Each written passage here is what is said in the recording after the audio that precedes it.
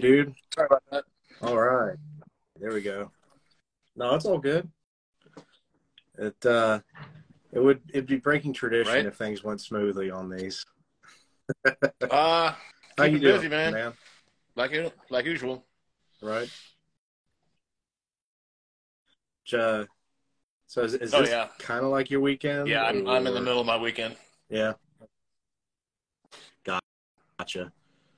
I uh I sympathize. I, I work graveyard shifts, so it's uh you know it's a hard life. Yeah, we I gotta mean- do it right. I don't know. Three days a week for me anymore. It's not really that hard. It's just uh, long hours. Damn. Uh, what do you do steel me shop, asking? Or fabricator, welder.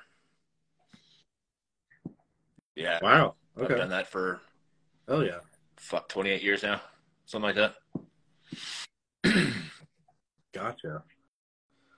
That's pretty. That's pretty cool though. Yeah. Kinda frees up a lot of time. Well, hell yeah. All right. Uh, I'll go ahead and do our little little intro thing here. Um, everybody tuning in, welcome. I'm Ryan. I am. Scratch that. I'll edit it. Everybody tuning in, welcome. I'm Ryan with Rigs of Death Metal. My guest today is JT from Unmerciful, formerly of Origin, and once upon a time touring guitar player for Cannibal Corpse. How's everybody doing? But so yeah, man. Uh, let's get right into it. Um, so first off, h- how long has Unmerciful been, been going on? I I think I found y'all. Was it's 2015 or six? When did Wrath uh Wrath came out in Wrath 2020. Come out? Um, yeah, it came out like right 20 after all that COVID shit Okay. hit. So, um, Unmerciful has Gotcha. actually been around since oh Clinton James started it in 2001. So it's been around. It wasn't wow. under the Unmerciful Okay. name then, but um, it later became Unmerciful. Okay. Damn. Um, and I guess this all a lot of this could be answered with a Wikipedia search, but um, what was the gap between Origin and Unmerciful? Uh, for me, For- um, yeah, yeah. Well, my last tour with Unmerciful was in 2002, and that was the Nile Arch Enemy Hate Eternal tour. And I left right after that. that.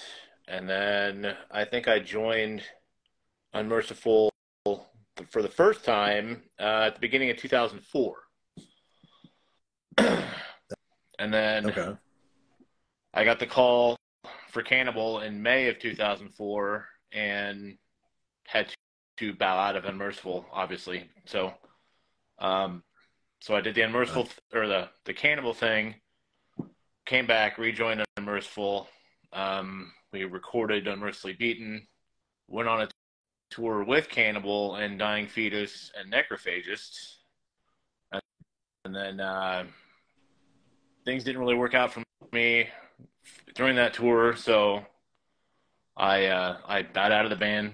Um, got labeled a band quitter. It was just me not getting along with other members mostly. So I figured I'd remove Really? myself from the equation because common denominator was me.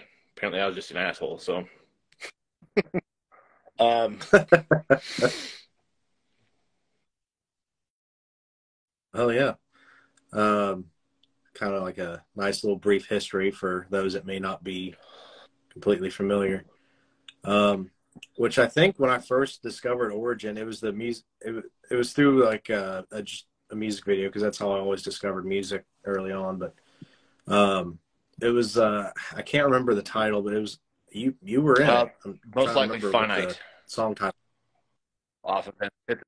I think that Uh, was. I we flew to that's what it was. Brooklyn, shot that video, and while I was there shooting that video, I did the interview for the Cannibal Corpse. Um, I think it was the Evisceration Plague DVD, or maybe it's the Centuries of Torment. I can't remember which one. Okay. Yeah. I uh I, f- I forgot that you got I forgot that you were in that. Um cuz I remember revisiting that like I don't know, a year or two ago. Yeah. and I was like, oh shit, Yeah. there's JT. But uh, um, you uh, you kind of recently switched back to doing guitar for Unmerciful, right? Yeah. Or you? Okay. Um, do you have any kind of preference, or is it just uh, you know, whatever the Uh, task requires? Mm, kind of well, I prefer guitar. Yeah. Um, Yeah. I started playing when I was 13. I've always loved it. Uh, when I wanted to start jamming again, there was already two players, two guitar players in Unmerciful. So I went ahead and just picked up bass duties. So I could come back into the band. And then I did that for nine years. I was on bass for nine years with the band. Oh wow. Which I mean, you were just for for bass being like your your secondary instrument, you were extremely proficient at it. Uh, yeah, absolutely. What um well I'm kinda I'm kinda curious, what was your uh live setup for bass and guitar, honestly, because I, I I play both as well. Well, for my so- guitar rig, um, I've got well right now I've I've got a dual rectifier which I got while I was with Cannibal, so I've had it for 18 years, and then I've got a our Marshall cab that I've actually put Mesa speakers in, so essentially it's just a Mesa cabinet now, uh, because Yeah. they're both both made with birchwood and but the uh, the Mesa V30s actually sound different from the rest of Celestion V30s. Um, so I made sure Yeah. and got those, had those put in, and a buddy of mine revamped my rectifier, uh, retubed it, pushed the gain on it, retention things that needed retentioned. Um, actually put in some, uh, I'm sure I'm not going to say the right letters, but like a GL34s instead of the five U4s for the main tubes because they Oh, okay. they pull less current from the amp, so there's more headroom. It doesn't sag as much, and then I got the six L sixes for the other t- tubes, um, and it it sounds way hotter than it ever has. So, so you actually run it on the uh, the tube rectifier setting instead of the solid state rectifier. Okay. Uh, kind of. That's kind of neat. That's a little uh, uncommon for a lot of Yeah. death metal Mesa players. That's pretty Uh, neat. but I've Uh, I've got my BC Rich guitars. I've got the two V's. Um, my main one that I use is the Icon, the Pat O'Brien, and I've got a Fishman in there. And recently, I put in a FU tone tone block. Um, the Floyd Roses normally come with like a 32 millimeter block, and I upped it a little bit and put a 34 in. Got some silent springs. Just trying to push as much gain as I can out of the guitar with the rig. Um, the only pedal I have is a DBX 266 XL. I got a noise gate, expander, limiter, whatever compressor. But uh, other than that, I I don't use a pedal. Um, for my bass rig, I've got the Spector, Alex Webster, uh, the five string, and I got like a 2012, I think, 2013 before they started putting the Seymour Duncan, Alex Webster hammer smash bass pickups in there. So I got the EMG 40 Okay. DCs in it. And then I actually bought nice. a rig from Alex, um, the old SWR 750X and the Megoliath cabinet. And then I've got a dark glass B7K Ultra pedal. Oh, I, Yeah. I love the dark glass stuff. I, I had one for, I had the B7K for like a brief minute and I had to sell it. I need to get another one at some point.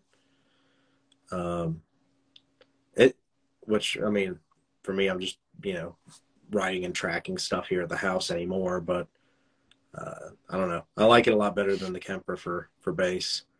But hell yeah. Uh, uh, which uh, which rectifier model do you have? And I and I Yeah, think it was Michael Klein that serviced it, right? Um, it's a dual rectifier. Like I don't know, it's 18 years old, 19 years old now. So, um, Sure. I, I, it's over Clint's. I don't have it here with me to pry into, but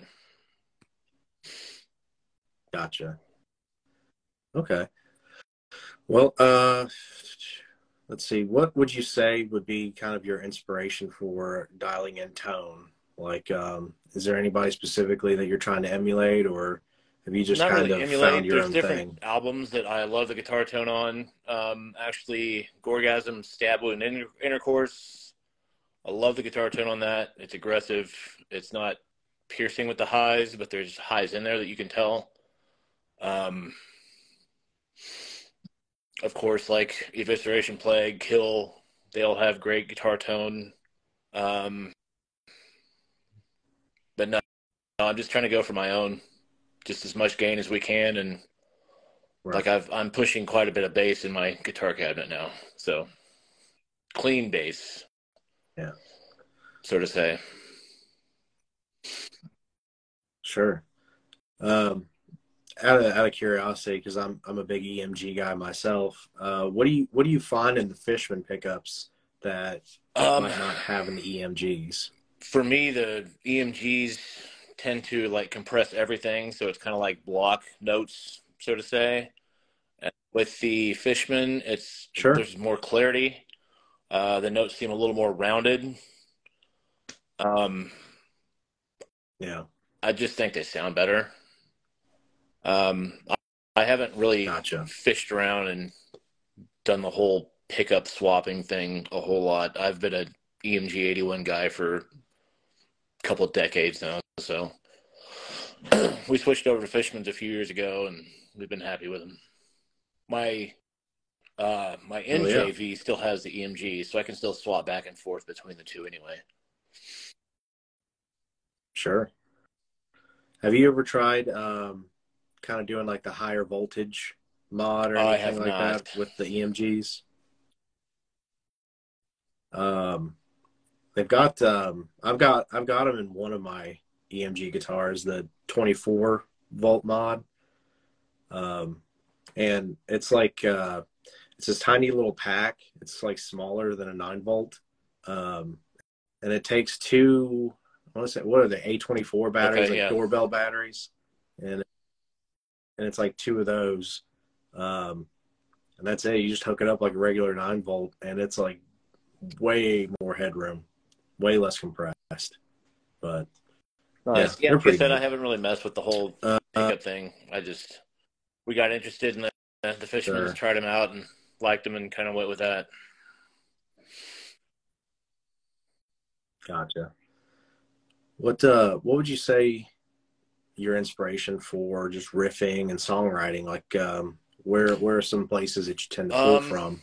Well, I'm gonna go back with the Gorgasm Stab Wound Intercourse. Um, I've been listening to that a lot lately, along with uh, I mean, I don't know how much inspiration or influence I'm gonna have from it, but uh, Disentombs, The Decaying Light, I've been listening to a lot lately.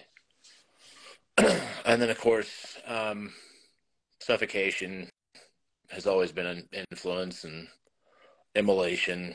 I've always loved the darker, heavier type riffing, and always been a huge fan of that. So, Right. That's killer.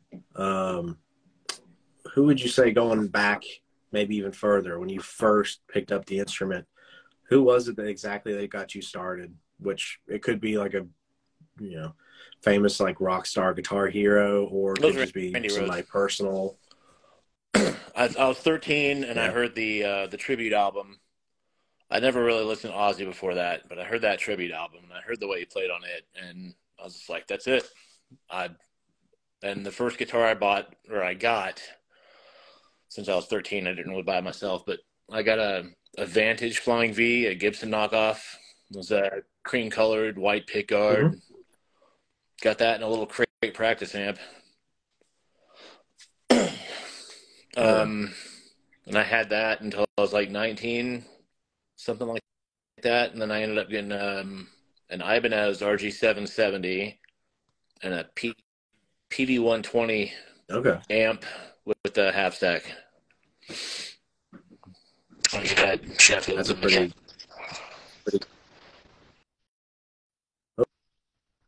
kind of dropped out there a second. Uh, there you go. I think you're back. That's a killer rig, though.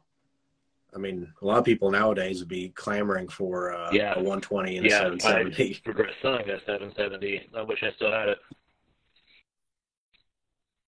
Yeah. Yeah. Trying to let the connection pick back up a little bit here. Um, what are some goals that you set for yourself uh, musically, both on a personal level as well as with the band? Um, personal level, my only goal is to just keep flying. I mean, I don't really set personal goals for myself. I would like to have our music written and ready to go to the studio by the end of the year for the next album for us. Um, whether we make Yeah. that or not, I don't know, but that's what I'd like to have happen. We got a lot going on personally, each of us though, so we'll see if it happens. Gotcha. Uh, well, with that, is there uh, is there anything scheduled No. or lined up at the moment? writing, writing and doing pre-production stuff. Um, we, I have written another Gotcha. song, a new song that we actually played in South America a few months ago, and then and uh, Clint's got another song that is five minutes and dark as hell and has twenty-seven different tales and pretty crazy stuff. Um, we're always trying to push the envelope, so. Right. Well, it's kind of cool keeping yourselves open like that to kind of focus on Yeah. trying to write the best you can. Um, hold hold tight real quick. I'm gonna try something Okay. see if it'll help the connection a little bit.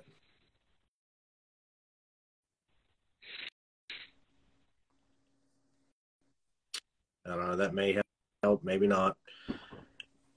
Let me see here. All right. Um, is uh, I know you've been a long time Mesa guy, or even with uh, bass gear, you know, Ampeg, what have you. Uh, is there anything gear wise that you are kind of maybe looking to replace something, or maybe some something you want to add on, or it could be something practical, it could be something fun. Is there anything that you kind of got your eye on? Not at the moment, no. I do know that once I do decide to update my bass gear, I'd most likely go with like Aguilar or uh, dark glass stuff. I don't know. I haven't really looked into it too much, um, just because I'm trying to be been trying to get my guitar gear back updated, and I think I've got that pretty good now. So I think I'll just stick with that for a while. Hell yeah, yeah. Uh, do you and you kind of have like some some stuff at home? I'm sure for like uh, Yeah, demo I've got- writing and I just got a laptop, a little pod, little, little Scarlett, and a, just a studio speaker. Nothing crazy. Yeah. that's all you need. uh, honestly, I, I'm I'm still a big fan of a lot of Oh, the yeah, pod I've had that thing for stuff. 20 Uh, years, and I, I don't need to replace it. It still works great for me. Right. I uh I kind of want to snag one of those, like the old like uh black with the red panel, the line six was it the Flex Tone or Okay. Flex Tone Yeah. two, something like that. Which I think it's basically just a pod, but in a head shell. But uh, well, uh, man, we kind of breezed through these questions a little bit here. Um, let me see. Well, uh, uh, I know you uh, tended to tour a little bit more extensively, I guess, with uh, Origin and and then you know Corpse there for a while. Um, got any uh, interesting road stories um, or anything like that from either band? Oh yeah, there's all kinds of stories. Um, yeah, right. uh, we did. Yeah, Origin when we first started out and got our first album out with Relapse, we toured a lot. We toured with Cephalic, um, Exhumed. We did the Contamination Tour 2000. Um, actually got to hop on the end of Death Across America 2000 with Vader and Cephalic um, and Dying Fetus. And then let's see, we did Cryptopsy in 2001 with Candiria and Poison the Well. Kind of an odd building, but um, Candiria was incredible every night. Their drummer went in and out of timing and just went fluid. It was incredible to watch. Um, I think the first show, I remember the first show of the Cryptopsy tour, James Lee was on stage with us, obviously, because he's a vocalist. And during Animal Instincts, I can hear him because he's right next to me on stage throwing up during our set. Um, so that was the beginning of a adventurous tour. Um, we did Summer Slaughter 2001 with Vader and Skinless, Impaled, um, Withered Earth, and Enter Self. It was like a, a fest tour is what it was like. There was like six bands on that tour. Um, let's see, we did did that Nile tour with Hate Eternal Arch Enemy. Um, played big places there to annoy the hell out of Karl Sanders. um, it's not. I, have heard that uh, it is not hard, to, do. to do, and you don't really know when you do it because his face doesn't really change, but his tone does, and he goes for the throat when he says shit. So. Damn. um, and then what's uh, what was what was his biggest pet peeve that got exploited? People being side stage while they were playing. Um, I've heard him. I've heard him taking phones from people while they were recording while they were playing. Just all kinds of stuff. Oh, wow. And then, like I said, Damn. I took a break from that, and then in 2004, I got the call Cannibal, and and I flew down to Tampa, met up with Alex, he drove me to George's house, and I got to stay with George and his wife Stacy for three weeks while I learned their 18 song set. And then we went to Mexico, did some shows there. Then we went to South America, did the No Sleep tour there because we had to fly everywhere we played. So we would play, go back to the hotel for maybe two hours, go to the airport, and fly all over, and then repeat for like 10 days. but uh, that was a whirlwind. That was surreal. It was crazy. Did like 90 shows in six months, something like 53 countries. Um, That's insane, dude. Got well, we didn't get detained, but we got held up at customs in Ukraine for like 24 hours after being held at the Belarus border with gun towers for eight hours.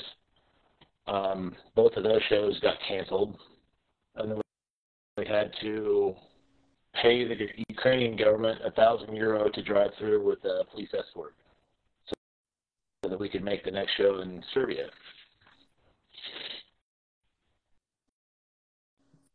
Wow.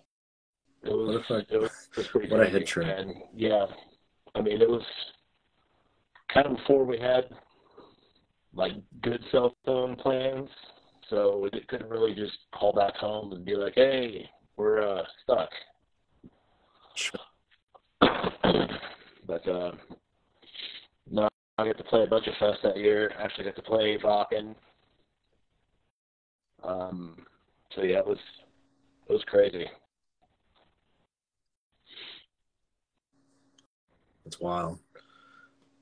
But do you uh do you kind of miss hitting the road as heavy as as you used to, or are you pretty content with uh, where Unmer- yes and no. is Um, right now? If it was back into a bus, yeah, it'd be great. But driving the van tour thing, they kind of suck when we were younger, and that really sucks when you're older. I mean, I still love playing. I still love doing that, all, all of that. But, um, yeah, it's it's cool. It's really cool. I I like getting back out and touring, but doing it as extensively as we used to do, um, everything's so much more expensive nowadays too. It's pretty. It gets pretty rough. Like we went out last Right. summer with decrepit birth and pathology and stabbing when gas was like six dollars a gallon. And yeah, it was, it was pretty expensive to be on the road. Right. Uh, yeah, Yeah. especially the last couple of years. Well, uh, let me uh, shift gears on you a little bit. Um, been following, been following you on here for a little while, and uh, I know, like me, Yeah. you're an avid weightlifter, um, and uh, so for those that are maybe kind of aspiring into it or uh, trying I know you've got a pretty impressive deadlift from some of your posts and stuff. Um, what are some like good kind of accessory kind of workouts for improving your deadlift? Um, besides going through the motion of a deadlift, I would definitely Sure. like lat pull down, seated row, um, hyper extensions, just stuff to help your core, sit ups, crunches, all that good shit. Uh, any core strengthening Right. exercises, um, even leg extensions, stuff like that, squats, anything to help with pushing and you're going to use everything deadlifting. Oh yeah, Hell, my 17 year old kid just got 385 here a couple weeks ago, so I gotta I gotta keep up with That's that impressive. kid now. Right. I say I, I think best I got was I don't know, maybe around 415, 420, something like that. Like just just a little bit over the four plate or you know yeah, four Right. plate, eight plates, Four however you want to look at it. Yeah, yeah, yeah. A little bit over, but Well, how much do you weigh if you don't mind me asking? Uh, I've been hitting the gym pretty hard lately, so I'm about six foot, and I just got back up to 259. It's not bad. Um, So yeah, my best was 565 when I was lifting overtime. Um, Yeah. I got five. I got a weird setup on my waist. Uh, some of my weights don't weigh what they say they do; they weigh more. So I weighed it. oh yeah, I got 503 one day, which sounds like a weird, weird number, but um, and that was sure. six months ago, I think, something like that. Still not bad for. I mean, I'm getting up there in age, so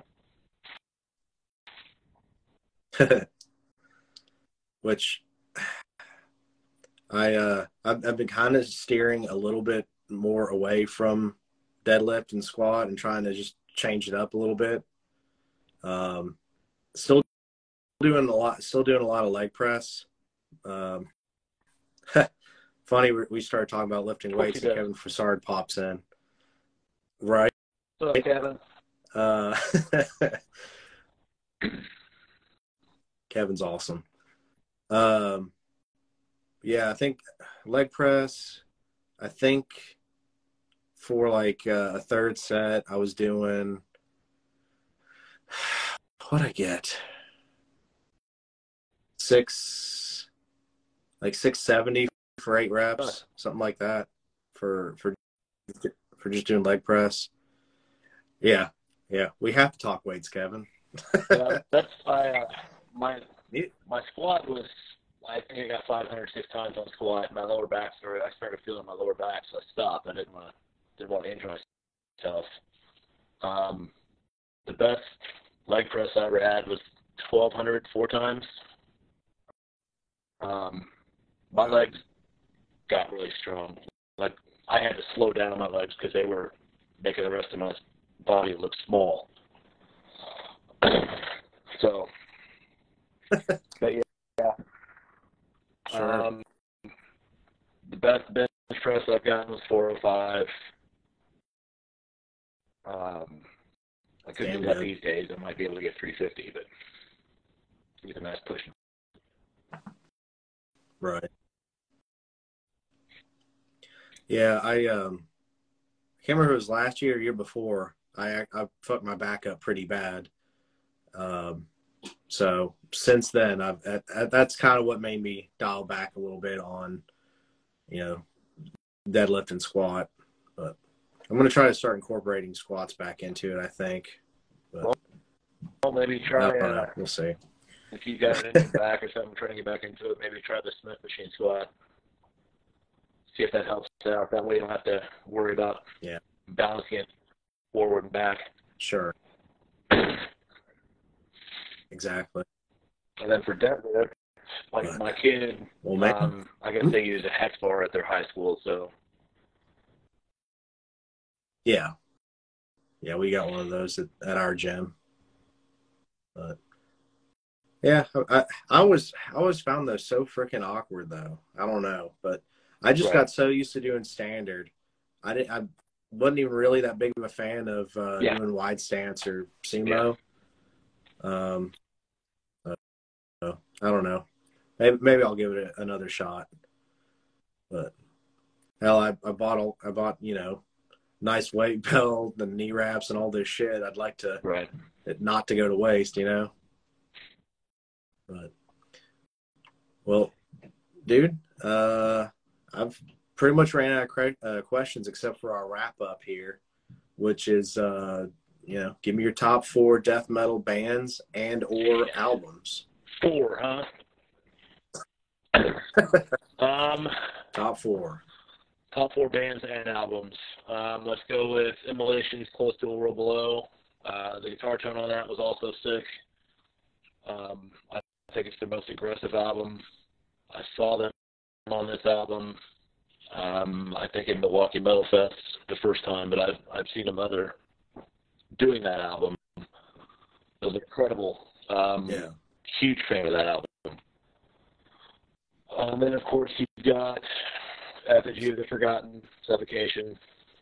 Uh, to me, that's the fucking death metal bible. That is that is Hmm. the album. Um, and of course, I'm an old guy, so I'm throwing whole albums out. But uh, the Gorguts Erosion Sanity for me was incredible. Great, great album. Um, fuck. Um, I have to go with fucking probably probably It's always the. Path of the Weakening. I'm sure I've That's a good one. down other Hell yeah. sick albums that I'm a huge fan of, but right now those are the four that I'm coming up with. So that's my answer. That's a killer list, man. Well, Jeremy, thank you so much for coming on here, man. Taking the time to to chat and nerd out with us a little bit. Um, is there? I know you guys don't really have. It's like I normally give this uh, spot for like any kind of plugs or nothing. Um, but if there's nothing lined up or anything you want to particularly shout out, um, I guess we can always just tell people just follow Unmerciful and, and follow everybody's uh, personal page. Try to stay tuned and wait to see the next killer album or next uh, Yeah, I mean, next you can- You can still buy merch. We've still got merch. Um, unmercifulmusic.com takes you right to the merch. Um, yeah, we're we're gearing up to get the next album out there, so expect uh, more of the same with added stuff from from us. Hell yeah! And I see uh, Paul Ryan, Paul Ryan in the chat there. So, what's up, Paul?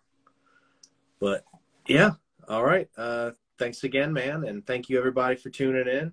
It's been an absolute pleasure, and uh, enjoy uh, your sort of weekend yeah, off. Thank man. you for having me, man. I appreciate it. You too. Absolutely.